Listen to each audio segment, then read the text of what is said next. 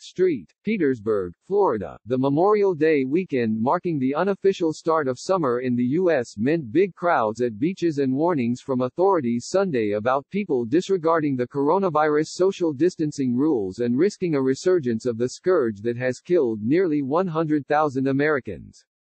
Meanwhile, the White House broadened its travel restrictions against countries hard hit by the virus by saying it would deny admission to foreigners who have recently been in Brazil.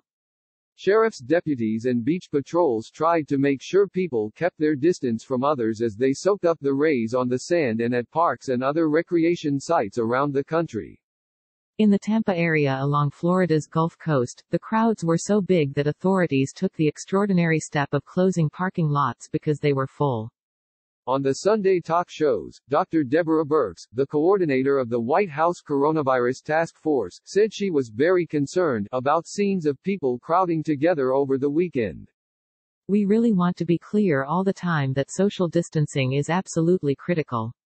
And if you can't social distance and you're outside, you must wear a mask, she said on ABC's This Week. In Missouri, people packed bars and restaurants at the Lake of the Ozarks, a vacation spot popular with Chicagoans, over the weekend. One video showed a crammed pool where vacationers lounged close together without masks, St. Louis station KMOV-TV reported. In Daytona Beach, Florida, gunfire erupted Saturday night along a beachside road where more than 200 people had gathered and were seen partying and dancing despite the restrictions. Several people were wounded and taken to the hospital, authorities said. Disney is closed, Universal is closed. Everything is closed, so where did everybody come with the first warm day with 50% opening?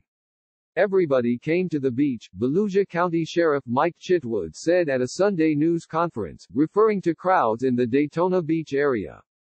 On Georgia's Tybee Island, the beach was filled with families, bicyclists, beach chairs, games, swimmers, and more. On a main drag, people lined the sidewalk at Wet Willie's, a chain bar that sells frozen cocktails. Most stood close together, not nearly six feet apart, and none wore masks. But at a nearby grocery store, staff members handed customers gloves and a number to keep track of how many people were inside at a time. Shoppers had their own masks. Officials in California said most people were covering their faces and keep their distance even as they ventured to beaches and parks. Many Southern California beaches were open only for swimming, running and other activities.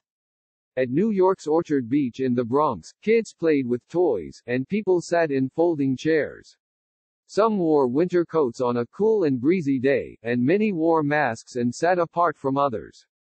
Good to be outside, fresh air, just good to enjoy the outdoors, said Donovan Clacken, whose face was covered.